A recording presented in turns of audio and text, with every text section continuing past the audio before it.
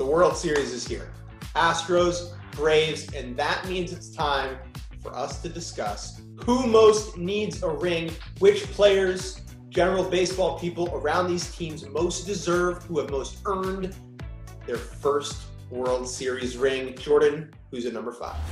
Number five, we're going not just with an Astro, it's a Castro. You can't spell Castro without Astro. And we begin with Jason Castro, the Astros backup catcher. Now, you might think, okay, well, why do I care about Jason Castro? This guy was drafted by the Astros way back in 2008. He came up with them when they were absolutely terrible and then left right before they won the World Series in 2017. I can only imagine how special it is for him to be back with the organization that drafted him. He had, of course, that big hit in the CS. It would be very cool to see Jason Castro get his first World Series ring.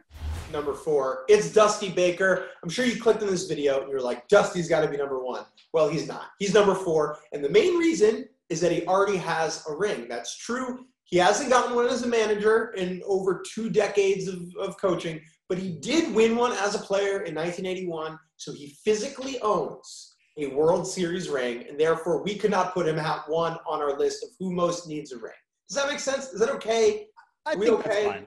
I think that's fine. But like, come on. If you're, you know, closer to our age, you're, you, you grow up, you know Dusty as the manager. So while he did win that one as a player 40 years ago, we would love to see him finally when he's had so many great teams, and this would be a great chance for him to finally lift that trophy. All right, at number three, we're going back to the Atlanta side of things. This guy might not be a probable Hall of Famer like Dusty Baker. It's Jesse Chavez, one of the journeymen of all journeymen in this World Series, a reliever who's pitched for nine different teams.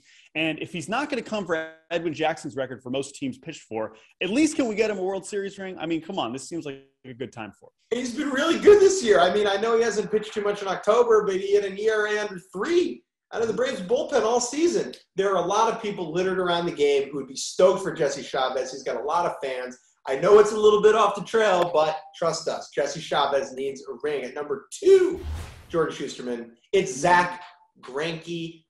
Fun fact time. Zack Greinke has the most career innings pitched in October without a World Series ring. A record formerly held by Clayton Kershaw very famously. He then got his ring last year. Greinke is 24th all time on most October innings, just amongst pitchers ever. But he's number one among those who do not have a championship. That's where you yeah, put a championship I mean, he, he is a you know a future Hall of Famer, one of the best pitchers of his generation. Didn't have a chance to really pitch much in October early with Kansas City. He gets so close. Think about how good he was in that Game Seven in 2019 hmm. uh, against the Nationals, only to get pulled and watch them lose. Um, he's an amazing career. I know he hasn't contributed that much this October in particular, but if the Astros do get it done, he will be more than deserving. All right, that's number two. All right. Well, oh my goodness, who, who could need it more than Zack Greinke? Well, before we get to number one, we should we should mention a couple honorable mentions. A couple other Astros you might be thinking, oh, Michael Brantley. Michael Brantley, he was the last out of the 2019 World Series. Another guy with an amazing career. Martin Maldonado. He doesn't have a World Series ring. He's one of our favorite catchers in the game. The field general uh, of Houston. That's another good one. I know on the Atlanta side, there, there's a few other good candidates as well, right? Freddie Freeman, probably potentially the best player in the whole series. He's going to have his time like he'll get a ring eventually. Let's not fret. He's a little too young for us to have him high up on this list. And then Brian Snitker, you could say, I would say he was probably number six for us. He just was in the Brave system coaching for it an eternity, finally made it to the World Series. But he's not number one. At number one, though, it is a coach. It is a skipper, a manager, not a manager now, but third base coach for the Atlanta Braves, Ron Washington. Nobody in the World Series needs a ring, deserves a ring more than him.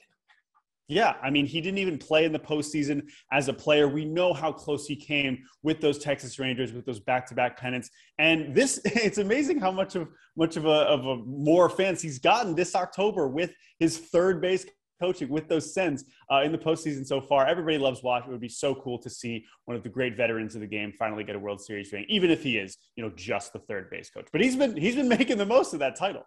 Third base coaches, they're important, Jordan. They're very important. Do you hate our list? Do you think we suck? Me too. Well, let us know on Twitter or you know send me regular mail and be like, hey, your list is bad. Here's my top five. We can talk about it. I would love to hear your opinions. But those are our five. We go.